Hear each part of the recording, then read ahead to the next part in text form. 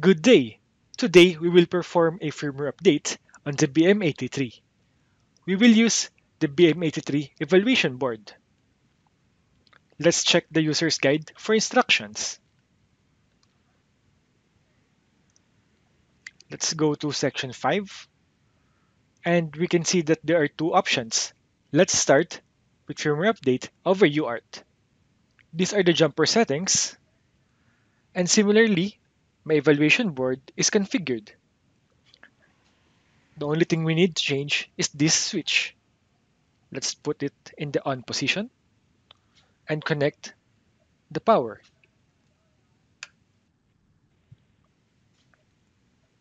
Now let's download the package from the product page. The latest one is version 1.3.0. I have it here on my computer. And there are two firmware options. This is the audio transceiver mode, and this is the usual.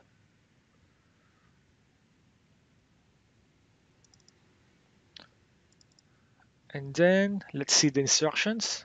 I think it is better to have this. And, all right. We will use the isUpdate tool.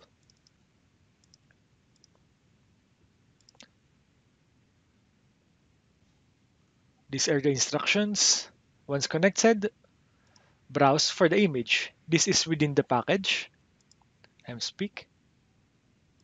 SPP, we want to use the host mode because we will communicate with the BM83 directly. There are three firmware involved. This is the DSP firmware. This is the UI tool or configuration firmware. And this is the hex file itself.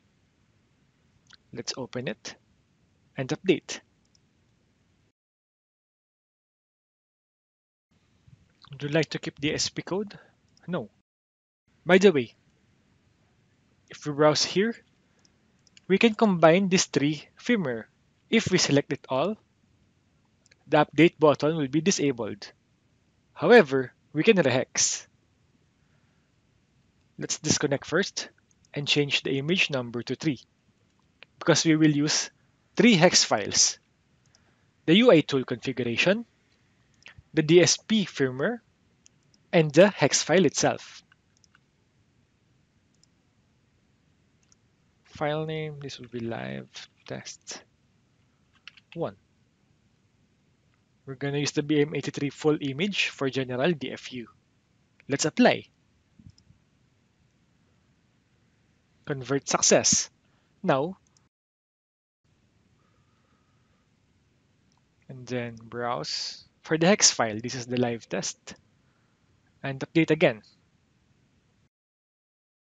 Now all the three settings will be programmed to the BM83. This usually is needed if you have converted from different firmware versions. We're finished. So let's disconnect this and verify if it is really successful. I'm going to power off my board and switch it into application mode. I just changed the switch. On the same package, we can go to command tool and use it to communicate with our module. If we open the port, it will communicate there. Let's check for the information. There we go. It fills up the details. If we go to system, we can issue the power on command.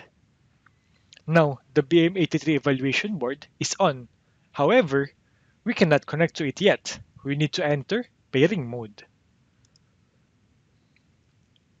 Now, those blinking lights are your friend because the BM83 is now discoverable.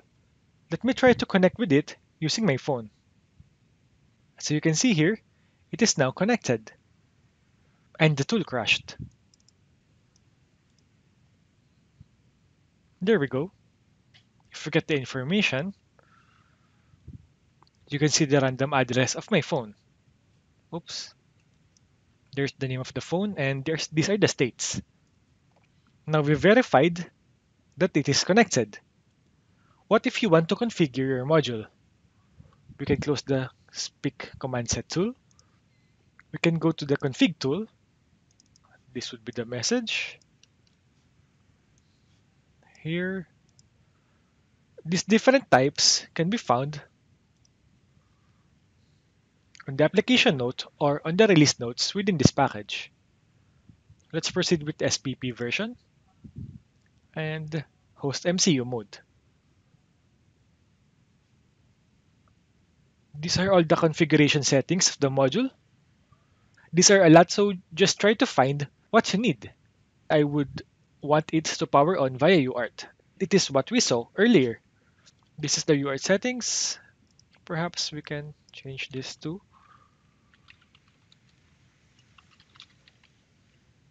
for quick testing. The DSP configuration tool will now pop up. You can save it and just close that one. All right, it closed already. Yes. Config tool, live test one. Now we can go to isUpdate again. Put the board in firmware update mode. It is formally called the test mode. We can connect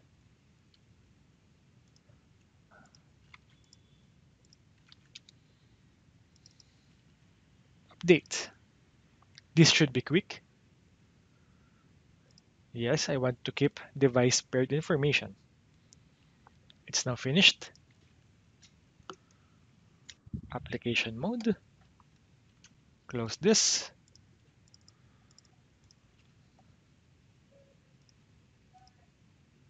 All right, it is properly configured. Thank you.